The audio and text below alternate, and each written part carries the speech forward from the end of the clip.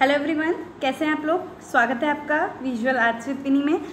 Friends हम लोग भारतीय कला की संपूर्ण समय सीमा देख रहे थे क्योंकि आपकी ही डिमांड पे ये बनाने की कोशिश की थी मैंने। और अब उसका पहला पार्ट हम पहले देख चुके हैं ठीक है? आधी कहानी हमारी हो चुकी है और सोचा आधी आगे की कहानी हम आज पूरी कर लेते हैं ठीक है?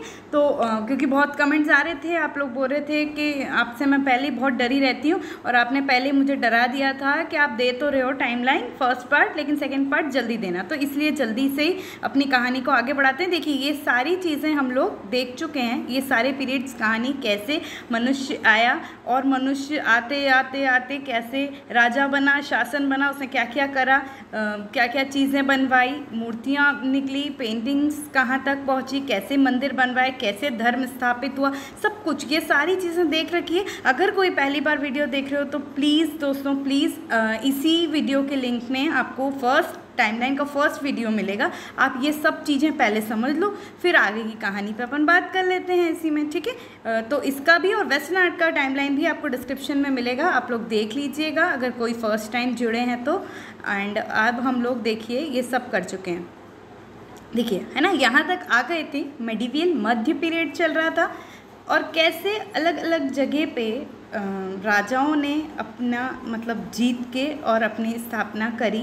अपने शासन की स्थापना करी मंदिरों का निर्माण किया मूर्ति कला मिली। ये सब चीज़ें उस एम्पायर में हम लोग पढ़ते हैं से, पाल सैन एम्पायर तक हम लोग आ चुके थे। ठीक है? जब बुद्धिज़्म भी आए और हिंदू जैसे ये सेन एम्पायर की बात करें तो कट्टर विरोधी थे बाकी चीज़ों के, सिर्फ़ हिंदू धर्म को लेके, और उसी से रिलेटेड मूर्तियाँ हमें ये सब चीज़ें यहाँ पे मिलती है, बंगाल, बिहार के क्षेत्र में, जहाँ पे ये पॉल एम्पायर का शासन था। ये वाली बात तो अब हमारी आगे ही बढ़ेगी। अभी हमको थोड़े से थोड़े से नहीं मतलब बहुत शासन और पढ़ने, जिनने अलग अलग जगह अपने राज किया, और उन्हीं के टाइम आर्ट पीरियड्स में बहुत सुंदर मंदिर निर्माण हुए चाहे मंदिर में आ, मिली मूर्तियाँ हुई ये सब चीज़ें जो है ना ये सब हम इस समय मध्यकाल में देखने वाले हैं। पेंटिंग्स में क्या हुआ ये सब चीज़ें अपन देख लेते हैं ठीक है? तो चलिए मध्यकाल के अंदर क्या है? सॉरी ये थोड़ा पहले वाला था। आप लोग प्लीज़ अगर जुड़ना चाहते हैं हमसे तो इंस्टाग्राम टेलीग्राम जो चैनल नीचे लिंक भी दी हुई है, आप लोग ज़रूर जुड़ें, ताकि कोई भी प्रॉब्लम हो नेट जे को लेके विजुअल आर्ट्स कला टीजीटी पीजीटी से रिलेटेड तो आप वहाँ पे डिस्कशन कर सकते हैं, ठीक है? तो देखिए, मध्यकाल के अंदर अब हम क्या लिए थे? तो अब हमने हमने देखिए हमने राष्ट्रकूट चालुक्य, पल्लव, ये सब देख चुके हैं। अब आगे हम पढ़ते हैं तो सोलंकी राजवंश, चोला राजवंश चंदेल गंगा होयसल यादव प्रतिहार नायक, विजयनगर, पांड्या, सुल्तान लोग। अब ये ऐसी चीज़ों को मैंने अलग अलग एक साथ क्यों डिवाइड किया? हम लोग क्या है, कुछ बुक्स ऐसी हैं जो पेंटिंग्स स्कल्पचर और आर्किटेक्चर इनको अलग अलग डिवाइड कर देता है और फिर उस हिसाब से टाइम पीरियड्स बनाता है। ठीक है, कुछ बुक साथ में बनाता है, कुछ बुक ने तो बुक्स ही अलग कर दी हैं कि ये पेंटिंग की है तो उसमें सिर्फ़ पेंटिंग ही मिलेगा, ठीक है? लेकिन हम क्योंकि एक कंबाइनली कैसे पढ़ें, कैसे कहानी को समझें, इसलिए हमको इनको जोड़ने की आवश्यकता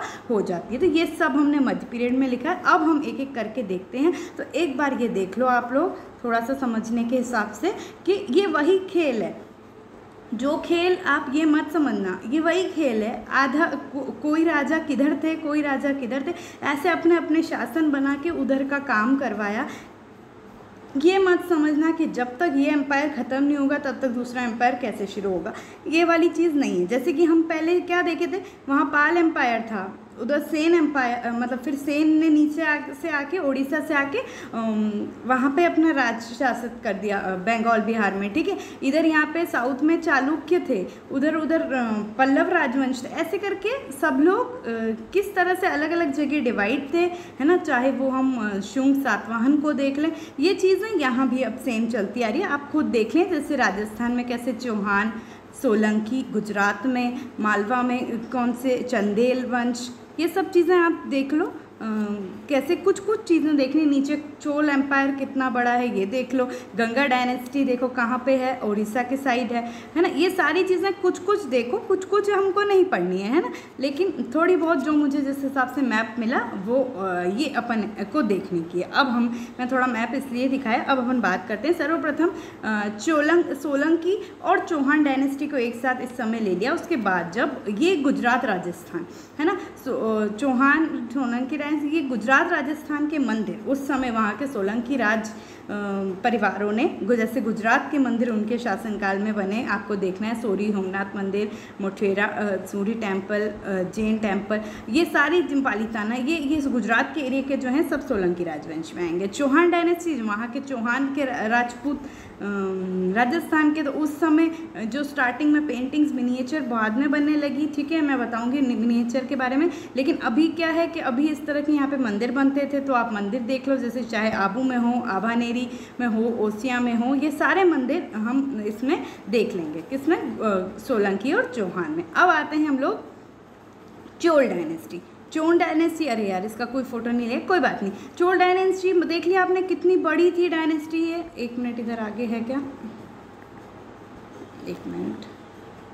चोल डायनेस्टी कितनी बड़ी डायनेस्टी मतलब जैसे चालुक्य भी काफ़ी अच्छी खासी हो गई थी ना, वैसे देखो कितना बड़ा एम्पायर है चोल का। लेकिन साउथ में इसका चीज़ ज़्यादा मिलेगी। आप लोग ये चीज़ ध्यान से रखिए, टेंजोर में साउथ में ये इसका मेन केंद्र है चोल साम्राज्य का। ठीक है तो यहीं यहाँ पे भी बृहदेश्वर टेंपल गायकोंडा चोलापुंग बृहदेश्वर टेंपल ये मंदिर किस प्रकार के मंदिर निर्माण हुए हैं कौन सी शैली है, इनको बहुत बढ़िया तरीके से देख लेना है। वहीं से नटराज की कांस्य प्रतिमा, वो बहुत इंपॉर्टेंट जो आपको अच्छे से देखनी है, चोल चोल शासन की क्यों बोलते हैं? क्योंकि वो चोल पीरियड में आती है, इसलिए चोल नटराज बोलते हैं उसको, ठीक है? त्रिपुर कैशिव मूर्ति, ये सब चीज़ें इस समय जब चोल शासन शासन कर रहा था साउथ की जगह पे तो वहाँ पे उनने मंदिर निर्माण करवाया, वहीं से मूर्ति प्राप्त हुई तो ये चीज़ें उस उसके समय है। पेंटिंग भी चोल डायनेस्टी में हमने brief history of Indian painting में देखते हैं तो उस समय पेंटिंग्स भी पाई गई हैं। कैसी पेंटिंग देखो एक बार जैसे शिव है ना म्यूजिशियंस की नृत्य नृत्य करती काली की, दुर्गा की, भैरव की, चोल मतलब चोलेश्वर स्टाइल में, वो वो सारी पेंटिंग्स भी यहाँ प्राप्त हुई है। साथ ही साथ पोथी चित्रण मैनुस्क्रिप्ट भी प्राप्त हुई है। अभिलाष सरिता, चिंतामणि, कथा सरिता का। जब हम ये चोल आर्ट पढ़ते हैं ना प्री मेडिवियल और मेडिवियल में जब चोलेश्वर, उसमें आपको दिखेगा ये पेंटिंग में, है ना? ब्रीफ हिस्ट्री ऑफ़ पेंटिंग में आप देखेंगे तो उसमें हमें ये सब ये सब चीज़ें यहाँ पर हुई है और ये चोल राज के अंदर आती है, ठीक है? राजा भी साथ में दिखा हुआ है लो। अब आते हैं चंदेल राजवंश। चंदेल राजवंश किधर बना? तो चंदेल, अभी अपने चंदेल देखा ना? एमपी के उधर, बुंदेलखंड, महोबा, खजुराहो, कलंदर। ये सारे जो आर्ट वर्क्स हैं मेन मेनली खजुराहो बोलूँगी मैं, क्योंकि हम मोस्टली क्वेश्चन उन पर रिलेटेड आते हैं। तो ये सारे मंदिर चंदेल राजवंश के अंदर आते हैं। वहाँ के सेंटर इंडिया बोलेंगे।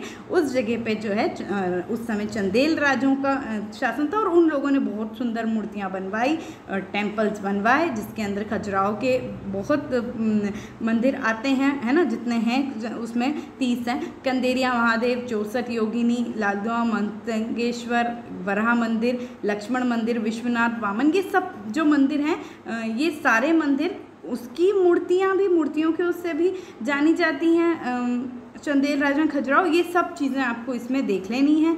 चंदेल डायनेस्टी के राजपूत जो थे, वो उनका शासन था यहाँ और उनने ये कार्य यहाँ पे करवाया था। अब आते हैं हम लोग, ये क्या है प्रतिवार तो ये भी वहीं पे डायनेस्टी मतलब वहीं के राजवंश की डायनेस्टी है सेंट्रल इंडिया। आप जहाँ वो चीज़ बोल रहे हो, ये खजुराहो बुंदेलखंड एरिया था ना? आप एमपी रीजन देख लो, जहाँ पे आते हैं एक तरह से ग्वालियर, उज्जैन, झालावाड़, ये वाली जगह, है ना? वहाँ पे ये देखिए सास बहु मंदिर, नीलकंठ, चौसठ योगिनी, उज्जैन, झालावाड़, ये वाली एरिया मध्य भारत जो है, वो भी आता है। कहीं कहीं इसको चंदेल राजवंश से जोड़ भी लेते हैं, लेकिन अगर अलग भी कहीं देखें तो ये इतना अलग नहीं है। आप ये समझ लो, प्रतिहार में, कलचूरी राजवंश, इनके इसमें जो भी कुछ दो चार पाँच मंदिर हैं, उनको आपको देखना पड़ेगा, उनने जो बनवाए थे। अब आते हैं पांड्या एम्पायर पंड्या अम्पायर बात कर लेते हैं। देखिए चितन वसल गुफाएँ के बारे में बात हुई नहीं है। जैन कहते हैं जैन चित्रण का पहला, सबसे पहले अवशेष सितनवसल गुफाएँ में मिली थी, है ना? जैन क्योंकि उसका सब्जेक्ट जैन है। तो ये भी कहते हैं पांड्या एम्पायर के अंदर आती है, ठीक है? उनने बनवाया था। तो ये हो गई। और बात करेंगे फिर तो उसमें जम्बुकेश्वर मंदिर चिदम्बरम मंदिर उनके क्या स्पेशली उनके एक चीज़ बताऊँ। अब कहानी में आ, क्या परिवर्तन आ गया? जैसे कि अभी तक देखो टेंपल बन रहे थे चोलेश्वर हमने बृहदेश्वर टेंपल देखा चोल एम्पायर ने जो कार्य किया ठीक है? बहुत बढ़िया किया। उसी जगह पे पंड्या है ना? साउथ के ही हैं ये जम्बुकेश्वर चिंद चिदम्बरम लेकिन अब चीज़ें क्या परिवर्तित होने लगी? जैसे चोल एम्पायर द्रविड़ शैली ठीक है? विमान जो आप समझते हो ना ऊपर शिखर वो उस स्टाइल से वो बनने लगा। नो डाउट बहुत अच्छा विमान पे बहुत ज़्यादा ध्यान देते थे और बनाते थे। लेकिन अब पंड्या पर यहाँ पे अब क्या चेंज आने लग गया? पंड्या है, आगे विजयनगर देखेंगे कि गोपुरम, जिसको मेन गेट वाला एरिया है, वहाँ पर ज़्यादा काम करते हैं। प्लस जैसे देखिए नागबंधन पिलर्स, जो पिलर होते हैं, स्तंभ, उसको नाग बंधन स्टाइल जो बोलते हैं, और बहुत डेकोरेटिव फॉर्म में, है ना? ये सारी चीज़ें, फूल पत्तियों से डेकोरेशन कार्विंग वाली, ये सब चीज़ें अब आने लगी पंड्या एम्पायर के समय, ठीक है? तो ये जम्बुकेश्वर चिदम्बरम मंदिर में आप देखेंगे किस प्रकार से गोपुरम सजे हुए हैं, पिलर्स हैं, है ना? और जो, जिसको कॉर्निस बोलते हैं, हिंदी में, इंग्लिश में मेरे को याद नहीं है जो कि, है ना हमारे कॉर्नर्स अंदर इंटीरियर वो सारी चीज़ें, जैसे जो रोकोको वाला टाइम था ना, उस वाली चीज़ को आप मान लो कि वो चीज़ें अब यहाँ पे हमको मिलने लगी। आंतरिक सज्जा भी और बिल्कुल मंदिर को बहुत सुंदर तरीके से सजाने लगे साउथ के थे ये, ठीक है? तो ये वाली चीज़ आप देख लो। अब आते हैं Ganga dynasty very very important time है ना? नारासिम्हा, छोड़ा गंगादेव, ये राजा थे। और उस समय का साम्राज्य गंगा साम्राज्य कहलाता है, जिसका केंद्र कहाँ पे है? दक्षिण भारत कर्नाटक एरिया और कलिंग एरिया जिसको ओडिशा कहते हैं, इस एरिया में गंगा डायनेस्टी, गंगा साम्राज्य डेवलप हुई थी, ठीक है? और इनके बहुत इम्पोर्टेंट ओडिशा के मंदिर बहुत इम्पोर्टेंट हैं। कोई एक एक मंदिर, चाहे वो जगन्नाथपुरी का मंदिर हो, परशुरामेश्वर हो, मुक्तेश्वर हो विथल देउल हो कोनार्क का सन टेंपल हो, ये सारे अभी इंग्लिश में लिखा हुआ है, लेकिन ये सबको बहुत अच्छे तरीके से करना है। उनका लेआउट पैटर्न क्या है, उनकी शैली क्या है, कलिंग शैली क्या होती है बहुत लोग बोलते हैं कि वो नागर शैली है, किसी बुक में लिखा भी हुआ है नागर शैली है, लेकिन नागर की उप मैं समझती हूँ, क्योंकि नागर शैली से तो भिन्न है वो, है ना? और कैसे विठा देउल, पिठा देउल, ये खाकरा देउल, रेखा देउल, सब ये चीज़ें जो है हमको इनमें देखनी। मंदिर कहाँ से कहाँ बन गए वो देखो।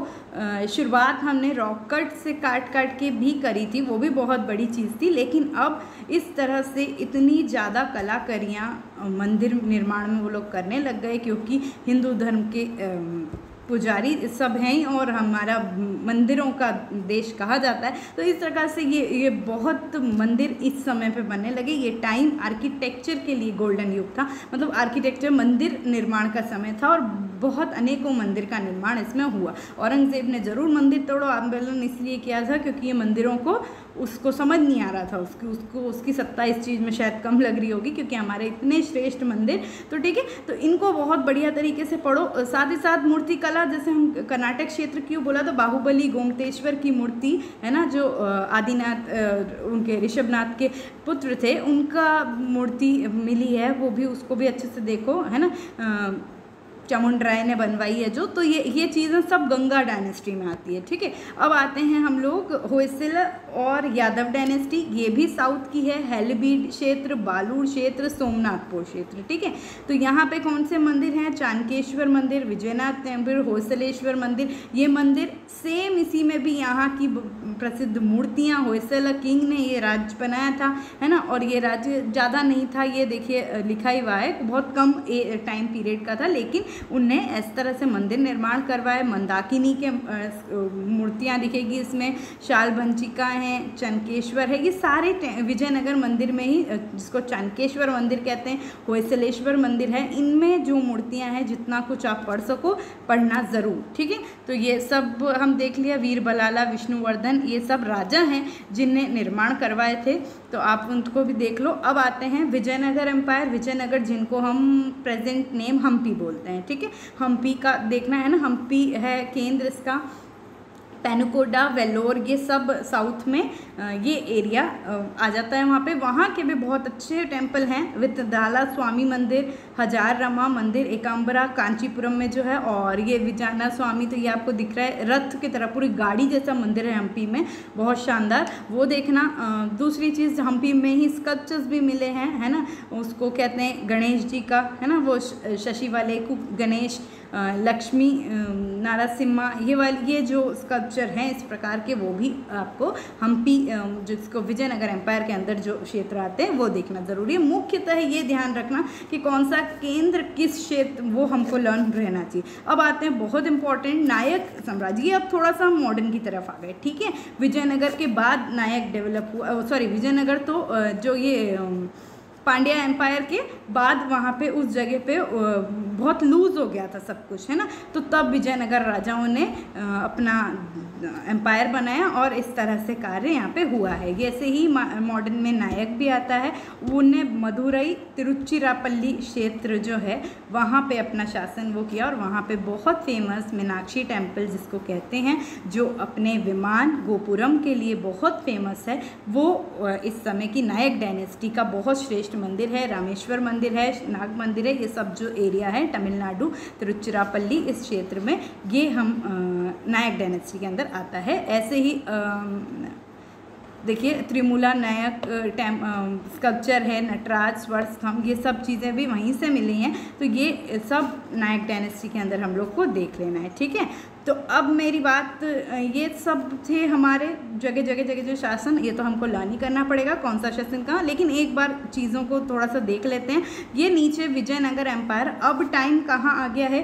देखो इंडिया चौदह है ना? चौदह के समय मैंने क्या बोला? अब ये मॉडर्न चीज़ है। विजयनगर है, नायक एम्पायर भी है है ना? लेकिन हम बोलेंगे कि चोल, चंदेल इनका शासन अब गया, कम हो गया, है ना?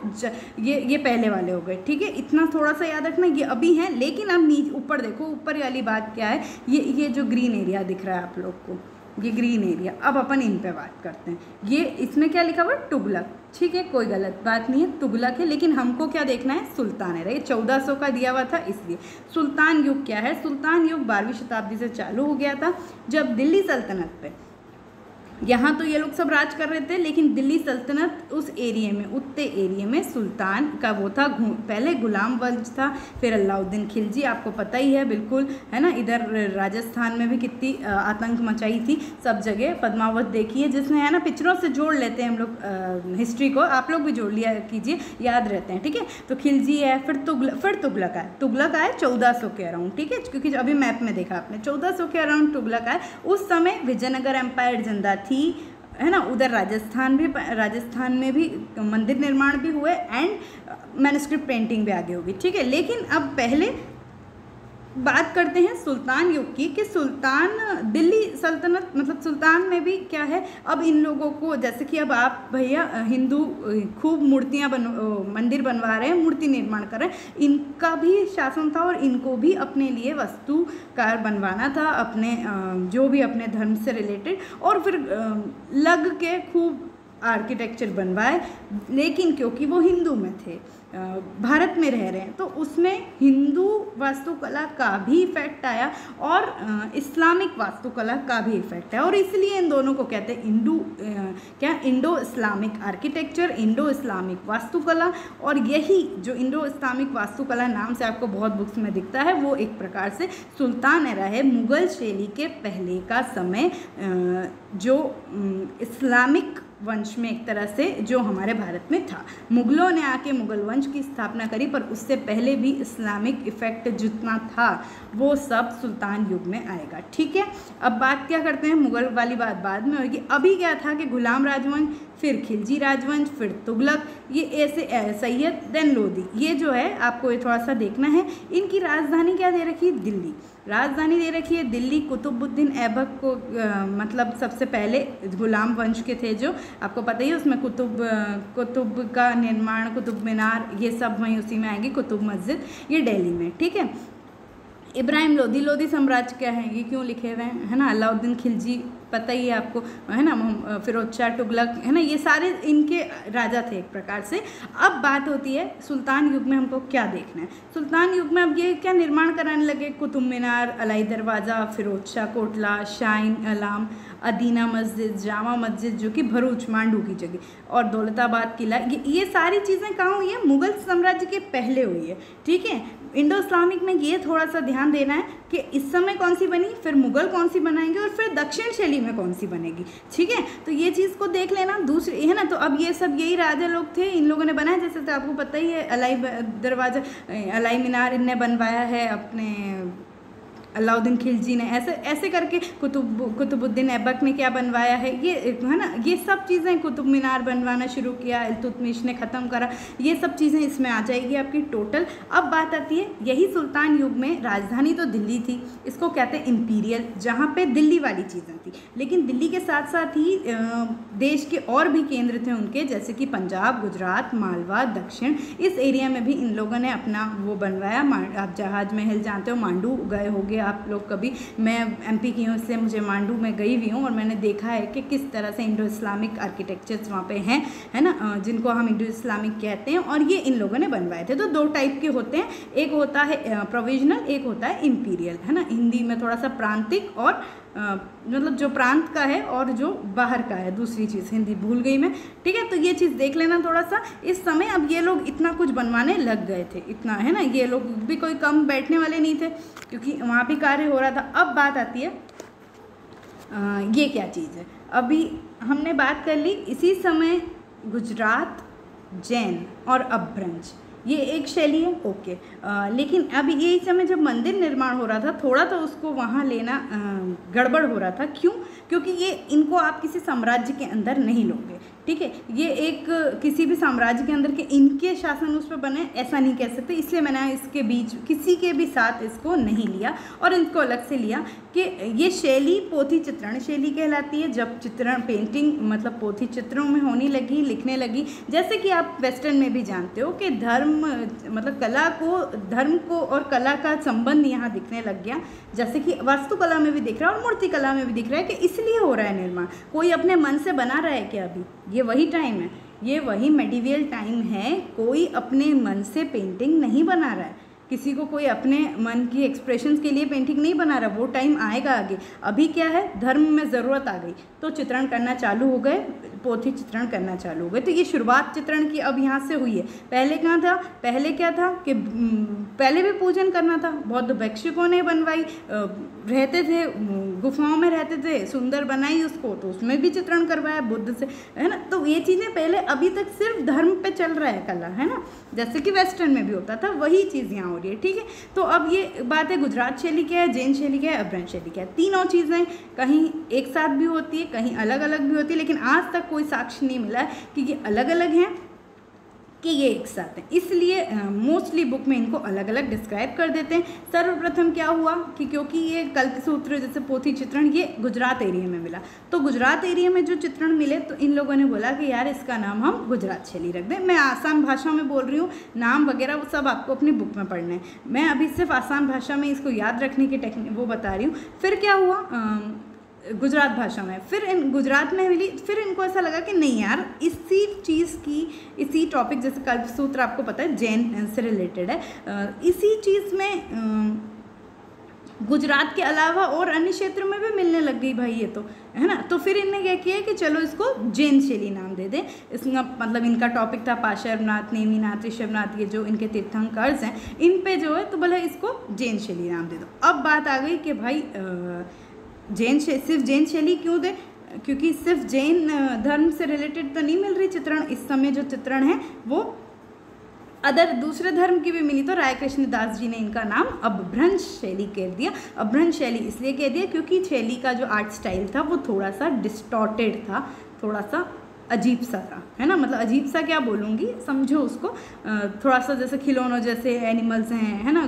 गोल्डन रंग ज़्यादा है थोड़ा सा बच मतलब जो एक फेस भी है, वो थोड़ा सा चाइल्डिश उसमें मतलब कुछ, है ना? तो वो परेशानियाँ, वो सब थोड़ी सी इसलिए डिस्टॉर्टेड बोलते हैं नाम लग दिया अब्रंश, जिसके अंदर ये सारी आती हैं चीज़ें पोथी चित्रण जो कि ताड़पत्र पे, होते थे पहले तक, लेकिन अब कागज़ पे भी हुए कपड़े पे भी हुए। तो ये सब चीज़ें हुई यहाँ पे। पटचित्र बने, कल्पसूत्र, बाल गोपाल सूत्र ये देखिए दूसरे धर्म के हैं तो इससे उसको अभ्रंश शैली में ले लिया। अंगसूत्र ओधन्योत्री वृत्ति, जिसको प्रथम चित्रित ग्रंथ भी कहते हैं कट, कथा सरिक सागर, श्रावक, प्रतिक्रमक, चूर्णी, ये सारे जो हैं आप समझेंगे अभ्रंश शैली के अंदर आते हैं। देखिए ये जो टाइम पीरियड लिखा हुआ है एट सेंचुरी से लेके सिक्सटीन सेंचुरी हम लोग अभी तक चित्रण की बात कर रहे हैं अब है ना? अब मेरी चित्रण की बात करो तो आ, पहले के समय अभी ये बहुत बाद में एक्सकेवेशन हुआ है अबाउट जैन शैली अभ्रंश शैली है ना? कि आनंद कुमार स्वामी सबसे पहले थे इसको इस बीच में लाने वाले कि नहीं? पहले ये ऐसा मान बैठे थे कि जैसे अजंता स्वर्ण युग कहा जाता है। बहुत सुंदर म्यूरल्स मिले हैं वहाँ पे, ठीक है? नो डाउट तब चित्रकारी होती थी और सीधे मान बैठे थे कि सीधे राजस्थानी में जो हमारी मिनिएचर पेंटिंग है, वो तब पेंटिंग मिलती थी। उसके बीच में पेंटिंग में शायद आर्टिस्ट बहुत डल हो गए थे और फलाना फलाना जो भी। तो इसके कारण भाई यहाँ पे तो चित्रण इस समय नहीं हुआ। लेकिन जो कि कुछ हमारे महान हैं है ना आनंद कुमार स्वामी सबसे पहले थे, इनने ये सब चीज़ें समझी कि नहीं, इस समय ये ऐसी पोथी चित्रण मिली दैट मीन्स इस समय भी चित्रण होता था और इस प्रकार से इसलिए यहाँ पे मध्यकाल में गुजरात शैली, जैन शैली, अभ्रंश शैली के नाम से ये आर्टवर्क्स फ़ेमस हो गए। ठीक है? तो ये चीज़, ये कहानी तो अब यहाँ तक थी सही। अब आते हैं एक छोटी सी थोड़ी सी बता दूँ अब, क्योंकि महान प्री लेट मेडिकल पीरियड बोलते हैं, जिसको राजस्थानी के उसमें आने लगा। अब मेरी बात सुनो। ये दिख रहा है आपको रेड रेड? ये क्या है? ये है राजस्थान। ठीक है? ये है आपका गुजरात और ये है महाराष्ट्र। ठीक है? महाराष्ट्र में इधर क्या है? अजंता। है ना? और यहाँ पे तो आपको पता ही है, गुजरात, अब गुजरात में शैली थी, गुजरात शैली, जिसको हम जैन शैली कहते हैं, जैन इफ़ेक्ट था, ठीक है? यहाँ पे अजंता म्यूरल्स अजंता के उसमें कार्य कर रहे थे तो यहाँ पे आप बोलेंगे कि बुद्ध इफ़ेक्ट आता है है ना? क्योंकि वो बुद्ध से रिलेटेड यहाँ पे बुद्ध शैली थी, यहाँ जैन शैली थी। अब बात करें महाराष्ट्र में, अजंता पे, यहाँ पे क्या हुआ? अफगानों का हुआ था आक्रमण। अफगानों का जब आक्रमण हुआ ना यहाँ पे तो यहाँ के लोग, यहाँ के कलाकार भग के चले गए गुजरात में। कहाँ चले गए? गुजरात में। अब गुजरात में यहाँ पे ऑलरेडी थी जैन शैली और ये आ गए हमारे बुद्ध शैली वाले कलाकार। अब इनको यहाँ पे कैसे कार्य करना पड़ा?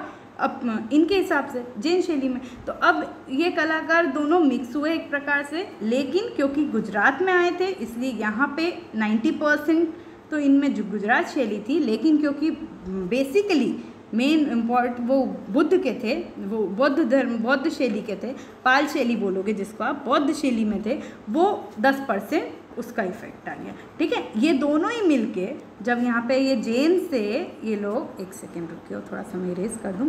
हम्म, अब बात सुनो यहाँ से यहाँ वाले ये यहाँ गए पहले गुजरात में आए अब इधर जो कलाकार हैं, उनमें टेन परसेंट तो वही अपना पुराना बुद्ध था और नाइन्टी परसेंट ये नाइन्टी परसेंट जो है जैन शैली में उन्होंने कार्य किया और इन दोनों से ही मिल के अब यहाँ पे भी समस्या हो गई, उन लोगों, वो एंटर कर गए राजस्थान में। और राजस्थान में कहाँ से एंटर करे? ये नीचे से, है ना? इतनी चीज़ समझ आ गई? ये कलाकार की ये जो शैली बनी पहले तो। पहले तो यहाँ जैन शैली प्योर थी, जैन गुजरात भी बोलोगे जिसको। और यहाँ पे तो ये थी बौद्ध। ये दोनों जो शैली बनी, ये शैली बन गई थी वही आपकी अपभ्रंश, जिसको अभी मैंने नाम दिया, ठीक है? वही अपभ्रंश शैली बन गई थी और इसी अपभ्रंश शैली के नाम से ये गुजरात में एंटर कर गई। इसलिए, है ना, और अब गुजरात सॉरी राजस्थान में एंटर कर गई और यही शैली आगे आपकी राजस्थान शैली कहलाएगी और इसलिए बोलते हैं कि राजस्थान शैली कहाँ से बनी है? अपभ्रंश शैली से बनी है, ठीक है? तो इतनी सी चीज़ है, कुछ नहीं है, छोटी बहुत ठीक है? तो अब यहाँ से अब बात आ गई हमारी, इतनी, यहाँ पर ये पनप रहा था, यहाँ पर ये पनप रहा था, इसके बाद अब दोनों जब चौदह सौ का टाइम आ गया लेट मेडिवल बोल दिया तो राजस्थान के साउथ जो एरिया बताया था वहाँ से वो अंदर घुस गई एक तरह से। कलाकार आ गए अपने। लेट मेडिवियल में क्या देखोगे? राजस्थान मुगल पहाड़ी डेकन सबको ये बहुत अच्छे तरीके से पता है लेकिन फिर भी एक बार डिस्कस करते हैं तो देखो। आ, बात देखो क्या बोला था मैंने? ये था राजस्थान ये यहाँ से घुस गई थी। ये थोड़ा सा गलत लिखा हुआ है। No doubt Jaipur. ये मेवाड़, उदयपुर है अच्छा ठीक है, उदयपुर है। है ना? तो ये यहाँ से घुस गई। अब ये वाला एरिया क्या है? ये वाला एरिया जो है, आपका है मेवाड़। क्या है? मेवाड़। ये मेवाड़ इसलिए मेवाड़ कही जाती है सबसे पुरानी प्राचीनतम शैली, क्योंकि मेवाड़ से घुसे थे ये लोग, ठीक है? मेवाड़ से ये लोग घुस गए, ये पुरानी शैली, सबसे पहले यहाँ पे मेवाड़, और फिर ये चार स्कूल में डिवाइड हुआ। ये सब अलग अलग डिवीज़न, ये थोड़ा सा एक तरह से मॉडर्न टाइप का है। आप लोगों को चार चीज़ें क्या देखनी है? ये थी मेवाड़, ये सबसे बड़ी रियासत जो जोधपुर इनको मिला के इसको कहेंगे मारवाड़। ये जो है, ये एरिया हो गया ढूंढार। और ये वाला जो सॉरी ये जो इतना एरिया है, ये कौन सा एरिया हो गया? ये ढूंढार था और ये एरिया हो गया आपका हड़ौती, ठीक है? तो ये वाली सॉरी ठीक है? तो ये वाली चीज़ मोस्टली मतलब आप समझे एंटर हो गया और ये फिर चार एरिया यहाँ पे मारवाड़ ये मेवाड़, ये हड़ौती और ये सॉरी ये हड़ौती और ये ढूंढार। ये चार क्षेत्र में हमारी राजस्थानी शैली डिवाइड हो गई। सर्वप्रथम मेवाड़ में आई, जहाँ पे सुसोदिया राजवंश थे, है ना? कैसे उसका सर्वप्रथम जगह उदयपुर हुआ, फिर ये पूरी स्टोरी रहेगी, है ना? मैं इतना ज़्यादा नहीं बता पाऊँगी। फिर कैसे महाराणा, राणा कुंभा ने सॉरी राणा प्रताप ने चावंड पे चावंड अपनी राजधानी बनाई तो वहाँ चावंड शैली हुई। फिर नाथद्वारा शैली में कैसे मूर्ति स्थापित होने के बाद वहाँ नाथद्वारा शैली हुई और देवगढ़ शैली देवगढ़ जिसको कहेंगे centre most area of all ये सारे चारों तीनों चारों के आ, बीच का एरिया जिसमें सबका प्रभाव पड़ता है वो देवगढ़ शैली थी, ठीक है? तो उससे रिलेटेड बहुत सारे क्वेश्चन और बहुत अच्छे क्वेश्चन होते हैं, वो आपको इसमें देख लेना। ये सारे स्कूल आप ये जो कन्फ्यूज़ होते रहते हो ना, कौन सा किसमें आपको ये एरिया वाइज याद रखोगे, राजस्थानी तो कभी नहीं भूलोगे, ठीक है? फिर मारवाड़, जो कि राठौर राजवंश के थे, है ना? जोधा भाई वाला टाइम पूरा बोलेंगे तो उसमें कौन कौन आएँगे सॉरी, जोता भाई तो उधर आमेर में आएगी। जोधपुर जोधपुर के राजा जो है ना, राव मालदेव ये वाले हैं तो जोधपुर जोधपुर, फिर जोधपुर से ही निकले किशनगढ़, बीकानेर, है ना? जोधपुर पहले बड़ी, लेकिन इसको कहते हैं सबसे धनी रियासत, सबसे बड़ी रियासत, सबसे धनी रियासत थी है ना? क्योंकि बड़ी भी है, देखो कितने सारे इसके सेंटर है और ये सारे याद करने। जैसलमेर, नागौर, अजमेर, गाड़ेराव, ये जो है, ये सब अलग अलग स्कूल हैं अलग अलग एरिया में डेवलप हुआ, किसमें किसका प्रभाव था, ये चीज़ें देखोगे तो याद रह जाएगी, ठीक है? ये बात याद रखना। दूसरी चीज़, जोधपुर के बेटे हैं किशनगढ़ बीकानेर, ये याद रखना। अब आते हैं ढूंढार पे, जो कि जयपुर एरिया। कहेंगे सबसे धनी रियासत। वो मैंने प्राचीन बोली, ये मैंने बड़ी बोली, और ये थी सबसे धनी मतलब फली फूली, अच्छी। है ना, क्योंकि जयपुर एरिया ये इनको कहती है। अब आमेर जयपुर, अलवर ये वहाँ पे कच्छा कछवाहा वंश के जो होते हैं मीन्स जो लव कुश के कुश थे ना उनका वंश यहाँ पे चलता है। तो इनके वंश के जो लोग रहते हैं ये यहाँ पे थे। आमेर जयपुर अलवर उनियारा शेखावटी ये सारी चीज़ें। आप बुक्स में पढ़ोगे आपको पूरी स्टोरी बढ़िया सी याद हो जाएगी। ये सब चीज़ें जो है एक के बाद एक कैसे आ, अलग हुआ शासन कैसे, कहाँ पे क्या डेवलप हुआ, ये चीज़ें इसमें आपको पढ़ लेनी है। फिर हड़ौती, जिसका बूंदी से शुरुआत हुई थी थोड़ा सा आगे पीछे हो गया। बूंदी के बाद बूंदी से ही कोटना निकला और कोटा से ही झालावाड़ निकला। तो ये वो एरिया है ना? हाड़ा वंश के राजवंश जो बोलते हैं, वो उनने बनाया था और ये हड़ौती राजवंश के अंदर आता है। ठीक है? तो राजस्थान में ये बहुत अच्छे से देख लोगे आप लोग। मुगल शैली, उसमें क्या देखना है? फिर क्या हुआ? देखो, राजस्थान का ये समय क्या था? जब ये अब अंदर घुस गए और ये लोग चित्रण करने लगे। अब बात आती है मुख्यतः राजस्थानी शैली कब शुरू हुई? वो कब शैली शुरू हुई? आ, देखो जो थोड़ा बहुत पहले चित्रण होता था मूर्ति निर् जो हम लोग बोले थे मंदिर वंदिर बन रहे हैं वो सब तो ज़रूरी हो गया था। लेकिन अब चित्रण तो यार थोड़ा सा इंसान फालतू होगा तभी चित्रित करेगा ठीक है? फालतू मतलब इतना अपना वो नहीं करूँगी लेकिन ऑब्वियसली फ्री टाइम में। तो फ्री टाइम कब हुआ उनका? जब देखो पंद्रह सौ छब्बीस अभी तक अब सुल्तान पे जोड़ो पहले आ, हम बात कर रहे थे सॉरी सुल्तान एरा चल रहा था वो लोग तो थे ही सही लेकिन यहाँ पे अब क्या हुआ? 1526 में बाबर ने राज कर लिया और मुगल काल की स्थापना करी ठीक है? अब इस समय बाबर तो भैया चार साल लड़ते लड़ते चले गए। चारों साल उनने एक एक युद्ध किए और लड़ाई में ही काम किया। फिर आए थे हुमायूं तो हुमायूं भी, क्योंकि लोधी वंश था जैसे तो हुमायूं भी रह नहीं पाए ज़्यादा, है ना? शेरशाह शूरी के कारण, है ना? भारत में नहीं रह पाए, वो काबुल भी चले गए थे और परेशान, परेशानियाँ थी मतलब एक तरह से। उनको ज़्यादा काम आर्ट वर्क का ज़्यादा टाइम मिला ही नहीं। कैसे मिला? क्योंकि वो इतना ज़्यादा नहीं कर पाए थे ना। लेकिन फिर आए जब अकबर तो अकबर ने दिमाग करी, जो याद आता है आपको, सुलह कुल पॉलिसी, कि भाई सबको अपना अधीन बना लेने का उनको। है ना कि तुम अब मेरे हिसाब से करो और जियो अपनी जगह पे। तो उनने यही बोला ना कि तुम मेरे हिसाब से चलो, मैं पूरा उसका मतलब बादशाह हूँ। सब उनसे मतलब एक तरह से सुलह करवाने की उससे कि आप मेरे अधीन हो जाओ, ठीक है? तो बहुत सारे राजा थे जो ये चीज़ मान गए थे, अधीन हो गए थे। अब अधीन हो गए तो और कोई काम तो था ही नहीं, सब काम तो अकबर को ही करना था। तो जब अकबर को ही सब काम करना था तो इसलिए सब फ्री हो गए थे और उसी समय राजस्थानी शैली वहाँ डेवलप हुई, जिनको आप बता रहे हैं कि ये मेवाड़ में चित्रण हुआ, ये यहाँ पे चित्रण हुआ इस तरह से ये वो टाइम चल रहा था है ना? और फिर इसलिए राजस्थानी में बोलते हैं कि जैसे बीकानेर है उसमें उधर का ज़्यादा प्रभाव है जैसलमेर है प्रभाव है मुग़ल का क्यों है? क्योंकि उस समय मुग़ल आ गए थे है ना? तो मुग़ल जब आ गए तो मुग़ल जब आ गए तब तो आपका ये क्या हो गया आ, राजस्थानी शैली इधर चल रही है, लेकिन अकबर भी कला प्रेमी था। अकबर भले अपना सब काम तो वो भी देख लेता था, और इसलिए उस समय से चित्रण चालू हो गया, कार्य चालू हो गया, और फिर चित्रण हुआ, वास्तुकला हुआ, ये सब चीज़ों का कार्य ये लोग करवाते गए, पीढ़ी दर पीढ़ी। तो उधर क्या है, उधर राजस्थान वाले लोग भी पेंटिंग्स बना रहे हैं, अपनी, जो भी, अपनी शैली को डेवलप कर रहे हैं, और यहाँ पे मुगल भी, जैसे कि बाबर थे, बाबर के समय पोथी चित्रण, यही सब हो जाकर बाबर की वास्तुकला, काबुली बाग, जामा मस्जिद, इन इनकी निर्माण करवाया था, ठीक है? इस, इसी समय कुछ पोथी चित्रण हुमायूं के समय भी हुए।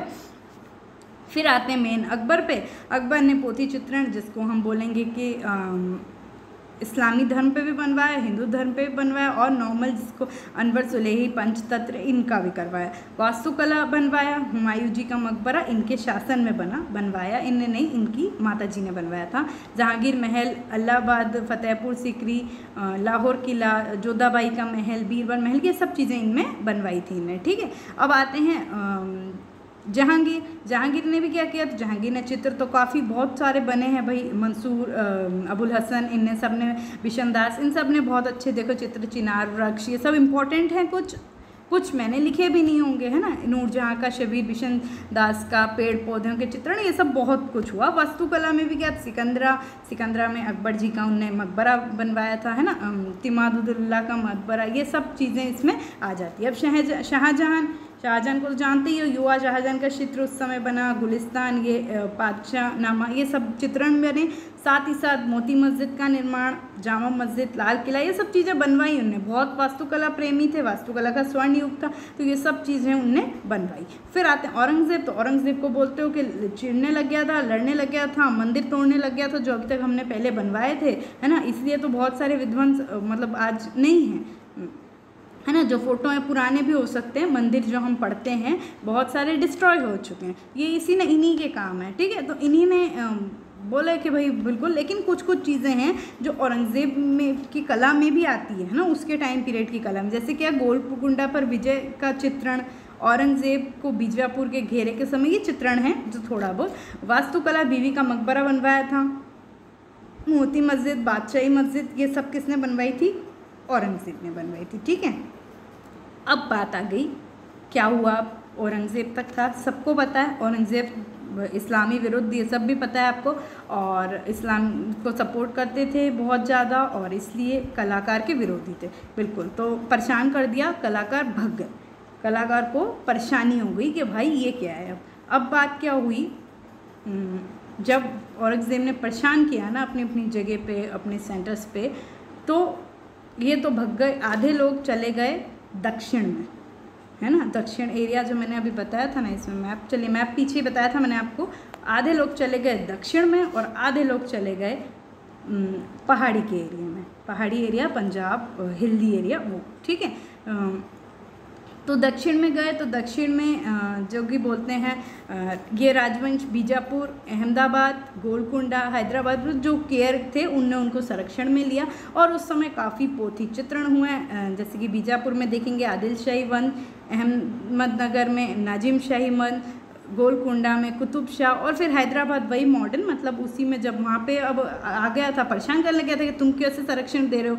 मैं सिर्फ़ एग्ज़ाम्पल के लिए बोल रही हूँ। जैसे गोलकुंडा में आक्रमण कर दिया था तो फिर वही लोग हैदराबाद में चले गए थे और फिर उसी का वंश, वो भी वही कुतुब शाह वंश था, ठीक है? तो उस समय ये जो पोथी चित्रण हुए, जो पटचित्र हुए, वो सारी चीज़ें आपको दक्षिण शैली में देख लेंगे साथ ही साथ दक्षिण शैली में भी जैसे कि बीजापुर में गोल गुम्बज ये स्थापत्य जो भी बने हैं, चार मीनार बने हैं, गोलकुंडा, हैदराबाद, तेलंगाना तो ये सब चीज़ें भी हमको देखनी है, ये बाद के हैं वास्तुकाल, ठीक है? तो ये आ गई आपकी डेकन शैली, पहाड़ी शैली वही, गुलेर, कांगड़ा, बशोली, चंबा, गढ़वाल, जम्मू, ये अलग अलग क्षेत्र में जिस तरह की मैनुस्क्रिप्ट पेंटिंग्स होने लगी, उसका जो जो टॉपिक हो गया, वो सारी चीज़ें आपको क्लियरली पहाड़ी पेंटिंग्स में देख लेनी है। आठवीं से बीसवीं शताब्दी में, अब इसको मैं डिटेल क्या बताऊँ, जो सबकी अलग अलग है विषय वस्तु वस्तु, विशेषता, ये सब चीज़ें आपको इसके अंदर बढ़िया तरीके से देख लेनी अब आते हैं आधुनिक कला।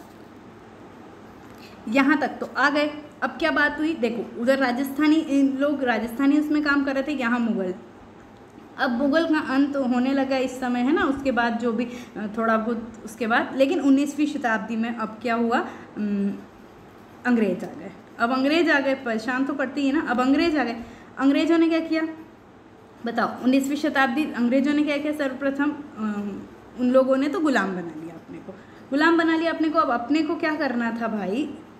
अपन को तो जीवन जीना था, जो यहाँ के बेचारे कलाकार थे। जीना था तो उनके हिसाब से कार्य करने लगे, उनको मतलब उनको अब कैसे कार्य करें तो उनने कहा कि तुम हमारे लिए कार्य करो, हमारे हिसाब से चित्रण बनाओ तो ऐसी नॉर्मल आम लोगों के चित्रण वो करने लग गए कलाकार और जनजीवन के चित्रण करने लगे, है ना? तो वो वाली शैली थोड़ी सी डिस्टॉर्ट हो गई क्योंकि उनके हिसाब से कार्य करना, कलाकार अपने हिसाब से नहीं कार्य कर पाए तो जो भारतीय शैली थी, उसे थोड़ा सा चेंज हो गई वो शैली और इसलिए उस शैली को क्या नाम दे दिया गया? कंपनी शैली और उस समय की वही शैली जो थी, कुछ कलाकार थे उस समय उस, उनने ये कंपनी शैली के समय ये कार्य होता गया ठीक है, अब जो बात आ गई कि वही ब्रिटिशर्स जब यहाँ थे तो उन्हीं में से कोई थे ई वी हैवेल जिनके हम बोलेंगे लेडी हेरिंगम तो बाद में आई तो उनको ये लगा, उनको ये समझ आने लगा कि भारतीय शैली मतलब भूल ही, उस समय जो प्रेजेंट लोग रह रहे थे ना, भूल ही चुके थे। उनको पता भी नहीं था कि भारतीय कला क्या थी, जो मैनुस्क्रिप्ट पेंटिंग हुई जो अजंता एलोरा में अभी जो हम चित्रण देख चुके हैं, ये सब चीज़ें उस समय लोग जानते ही नहीं थे, जब कंपनी शैली चल रही थी। जब ये उस तरह से बात करते थे, उस तरह से ये लोग सिर्फ़ अपनी, उन लोगों के हिसाब से करते थे, क्योंकि उन लोगों को भी क्या था, आप बोलते ही है ना कि उन लोगों को अपने से ऊपर नहीं चाहिए थे। उनको एक तरह से यही पावर्टी शो करनी थी ना इंडिया में कि भाई एक तरह से, नहीं, ठीक है नॉर्मल है कलाकारी हूँ लेकिन जब ई वी एवल को समझ आया कि नहीं, भारतीय कला कितनी ऊपर है, जब हमने उनने इस चीज़ का दर्शन किया, अजंता के बाग के, गुफा चित्रण का दर्शन किया तो उस, उनने उनको उस पर जागृत, उन पर मतलब एक तरह से अप्रिशिएट किया और इनने बंगाल स्कूल की स्थापना करी विद अविंदेंद्रनाथ टैगोर जो कि एक बहुत महान कलाकार कहे गए और उनसे, उनके, इसलिए उनके कुछ आर्ट वर्क्स में मुग़ल प्रभाव भी, क्योंकि उसका भी उनने देखा, कलाकारी करी, है ना मृत्युशैया पे शाहजहां जो बनाया वो वो स्टाइल्स भी तो पुरानी चीज़ों का जब स्टार्ट होने लगा, नया मॉडर्न में। मॉडर्न टाइम में फिर से उत्थान हुआ जो कि जो कला अभी तक भारत में चल रही थी उसको इन अंग्रेज़ों ने बंद करवा दिया था मैं कह रही हूँ। तो उन्हीं का पुनरुत्थान इन्हें करवाया और इसी को पुनरुत्थान स्कूल बो, काल बोलते हैं और बंगाल स्कूल बोलते हैं। क्यों? क्योंकि इसका सेंटर बंगाल था और इन्हीं ने शुरू करवाया था। और उसी के फिर अनुयायी जो कि आगे करे उनने आज हमारी भारतीय कला को क्या कर दिया है? मतलब कितना आगे पहुँचा दिया है, ठीक है? तो ये वाली दो चीज़ तो ये थी। उसके बाद क्या हुआ? अब ब्रिटिशर्स के लिए बहुत बुराई हो गई। क्या बुराई हो गई? कि हमारी कला बिगाड़ दी, ये कर दी। लेकिन एक बहुत अच्छी चीज़ जिनके लिए आज बोलते हैं, जिसके लिए हम सबको थैंकफुल होना चाहिए कि वही लोग थे भाई जो हमारी एक तरह से आर्ट स्कूल, जो कि गुरु शिष्य परंपरा कल तक चलती थी, लेकिन उन लोगों ने कला महाविद्यालय खोले। तो 1850 के समय की बात है 19वीं शताब्दी की बात कर रहे हैं अपन, उसी समय इनने कला महाविद्यालय खोले, जब ये बंगाल स्कूल इसका कंटेम्प्रेरी बोलते हैं तो ये कला महाविद्यालयों के बारे में देखना है, कैसे मद्रास में सबसे पहले अठारह सौ पचास, फिर अठारह कोलकाता, यहाँ पर इन्हें कला महाविद्यालय खोले। पहले इन लोगों के जो प्रिंसिपल हैं वो ब्रिटिशर्स ही होते थे। उस प्रकार से कहाँ पे क्या क्या प्रिंसिपल जैसे कि ई वी हेवल उधर ट्रांसफ़र हुए पहले मद्रास में थे फिर कोलकाता हुए। तो वो सारी चीज़ें आपको हमको इसमें बहुत ज़रूरी है देखना हर एग्ज़ाम की दृष्टि से ठीक है? साथ ही साथ अब कला हमें हम्म, इनसे भी आज़ादी मिल गई थी उन्नीस सौ तो उस समय फिर जब कैसे कला दीर्घाएँ बनी कला सोसाइटी, आर्ट सोसाइटीज़ बनी, आर्ट अकेडमीज़ बनी, है ना? नेशनल कला ललित कला academy national art museum, New Delhi ये सब national gallery of modern art, सब कहाँ कैसी बनी वो? अब कलाकार बाद में अपने अपने हिसाब से कैसे अपना ग्रुप बनाने लगे, जिसमें प्रोग्रेसिव आर्टिस्ट ग्रुप आएँगे यंग टर्कस पहले वाले हैं ठीक है? कलकत्ता ग्रुप है दिल्ली शिल्प चक्र है एक्सेट्रा एक्सेट्रा ग्रुप 1890 ये सारे ग्रुप कैसे जो हमारे कंटेम्प्रेरी मॉडर्न आर्टिस्ट थे उन लोगों ने बनाया और उन लोगों की आगे कला शैली क्या चली? है ना? आगे कला शैली उन लोगों की क्या चली? आ, कैसे? एक चीज़ देखो थर्ड टॉपिक ये introduction of other media in art मतलब दूसरी माध्यम का कैसे इंट्रोडक्शन कला में हुआ वो बहुत विस्तृत है इसमें मैं बता नहीं पाऊँगी। लेकिन फिर भी इंस्टॉलेशन ले लिया मूर्ति कला ले लीजिए किस तरह से एब्स्ट्रैक्टिज्म पेंटिंग में आने लगा। बंगाल स्कूल से हम शुरू किए थे बंगाल स्कूल के कलाकार फिर आगे कैसे उनके स्टूडेंट नंदलाल बोस असित कुमार हल्दार, आगे इन लोगों ने अपने बनाए और आगे आगे जाते जाते हम आज यहाँ पहुँच चुके हैं। ठीक है तो इतनी चीज़ें हम भारतीय उसमें पढ़ लेंगे। अब हमें मतलब मेरे हिसाब से जैसे जब इतना तक आप, इतनी कहानी तक आ जाओगे, उसके बाद आपको सिर्फ़ कला पढ़ने कलाकार पढ़ने हैं कि किन्ने कैसी शैली में कार्य किया, ये पढ़ना है। हमारे यहाँ ज़्यादा कुछ एक चीज़ मैं याद दिला दूँ, मैं ना कुछ ग्रुप्स देखती रहती हूँ टेलीग्राम पे तो लोग अगर आप लोग वो वीडियो देख रहे हैं तो प्लीज़ ये चीज़ को प्लीज़ क्लियर कीजिए अपने माइंड से कि भारतीय कलाकार मतलब भारतीय कलाकारों को आप ये मत बोलिए कि वो कौन से वाद से जुड़े हैं, कौन से इज्म से जुड़े हैं मतलब घनवाद से जुड़े हैं कि यथार्थवाद, वो चीज़ें भारत में आई ही नहीं हैं। भारत में यथार्थवाद इम्प्रेशनिज्म ये सब यूरोप कलाकार हैं, यहाँ पे सिर्फ़ इफ़ेक्ट आया है। तो कभी भी आप ऐसा ना बोलें कि अवनिंद्र नाथ टैगोर जी कौन से वाद से जुड़े हैं? कि नंदलाल बोस जी कौन से वाद से जुड़े हैं? सतीश गुजराल जी कौन से वाद, ये गलत है। प्लीज़ मतलब ये चीज़, क्योंकि हमारे यहाँ ये वाद नहीं आए हैं ना। हम ये, हम तो यूरोप यूरोप का प्रभाव पड़ा है। क्यों? क्योंकि देखेंगे, कलाकार क्या है? कलाकार सबका कार्य देख रहा है। कार्य देख रहा है उसका प्रभाव ले रहा है। तो बिल्कुल, हम किसी का, आज मैं अमरिक, अमेरिकन स्टाइल्स देख सकती हूँ, आज मैं चीनी कला देख सकती हूँ। मैं जहाँ भी देख मैं अपना कला में अगर उसका प्रभाव करूँगी तो कोई मानेगा नहीं। लेकिन क्या उस इफ़ेक्ट में मुझे जोड़ा जाएगा? नहीं, प्रभाव जोड़ा जाएगा। तो मैं बस इतना सा बोलूँगी कि इन चीज़ को जोड़िए मत कि ये कौन से वाद से रिलेटेड है? अरे, कोई वाद नहीं है भारत में। भारत में यहाँ पे इसके बाद से कन्फ्यूज़न पूरा ख़त्म हो जाता है। सिर्फ़ कलाकार बचते हैं, कलाकार के मीडियम्स बचते हैं, किसने ग्राफिक्स में गए, कौन इंस्टॉलेशन में गया, किसने स्कल्पचर किया, किसने पेंटिंग में एब्स्ट्रैक्ट किया, किसने फिगरेटिव किया, बस। इतने खेल में भारतीय कला आज तक सीमित है, सरल, स्वच्छ, साधारण, एकदम। ठीक है? तो इस चीज़ से जुड़ें। ये इस चीज़ से आई होप आपको अच्छा लगा होगा कि आज फाइनली हमारी इंडियन आर्ट की टाइमलाइन ख़त्म होगी। इस टाइमलाइन से आप पढ़ोगे, आपको बिल्कुल परेशानी नहीं आएगी, ठीक है? उम्मीद है अच्छा लगा होगा। अगर कोई गलती हो जाए तो प्लीज़ माफ़ कर देना, क्योंकि बहुत सारी चीज़ें हैं, कुछ डेट से रिलेटेड प्रॉब्लम हुई होगी, क्योंकि मेरे लिए आसान नहीं था ये बट फिर भी मैंने ट्राई किया। मेरी उद्देश्य सिर्फ़ आपको सीक्वेंस बताना है। अगर कुछ गलतियाँ हो जाती है तो प्लीज़ मुझे बताए ज़रूर, लेकिन थोड़ा सा माफ़ कर लीजिएगा कंसिडर कर लीजिएगा। जो आपको समस्या आ रही थी, मुझे लगता है कि इससे ज़रूर दूर हुई होगी। दूर हुई कि नहीं हुई कमेंट सेक्शन में प्लीज़ दोस्तों ज़रूर बताना, क्योंकि मुझे भी समझ आता है कि कैसा लगा आपको, ठीक है? तो thank you so much and please please please drop your feedback और ऐसे ही पढ़ते रहिए। Thank you so much wish you very all the best